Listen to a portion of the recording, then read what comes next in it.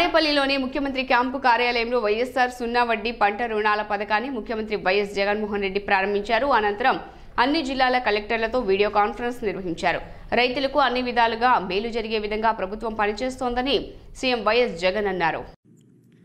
ఈరోజు సకాలంలో పంట రుణాలు చెల్లించిన పద్నాలుగు లక్షల యాభై ఎనిమిది వేల మంది రైతులకు సున్నా వడ్డీ వర్తింపజేసేలా వారు కట్టాల్సిన వడ్డీని ప్రభుత్వమే కట్టే పథకం కింద వారి ఖాతాల్లోనే రెండు వేల పంతొమ్మిది ఖరీఫ్ పంటకు సంబంధించి ఐదు వందల పది కోట్ల రూపాయల వడ్డీ రాయితీని వైఎస్ఆర్ సున్నా వడ్డీ పథకం కింద నేడు జమ చేస్తా ఉన్నాం.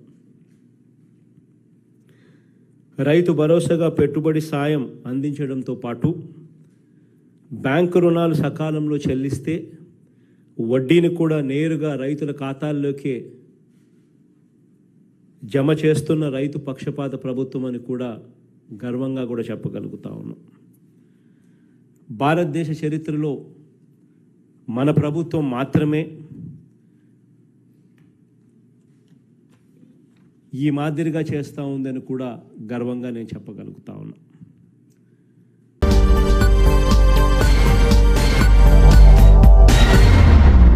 మరింత తాజా సమాచారం కోసం చూస్తూనే ఉండండి జేఎన్ఐ టుడే. సబ్స్క్రైబ్ చేయండి లైక్ చేయండి.